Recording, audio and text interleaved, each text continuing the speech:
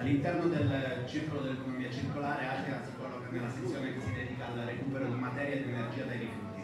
Eh, prima ho detto che uno dei concetti basilari dell'economia circolare è far diventare i rifiuti di qualcuno delle risorse per qualcun altro.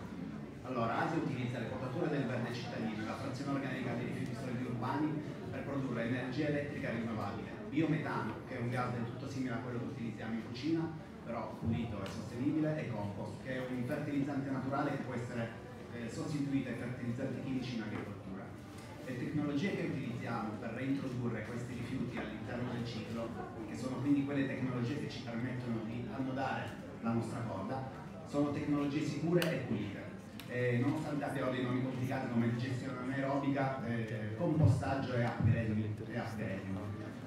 Eh, come idea l'economia circolare è già in giro da qualche decennio, ma soltanto negli ultimi anni si sono rese disponibili delle tecnologie come le tecnologie digitali e le biotecnologie che la rendono realizzabile.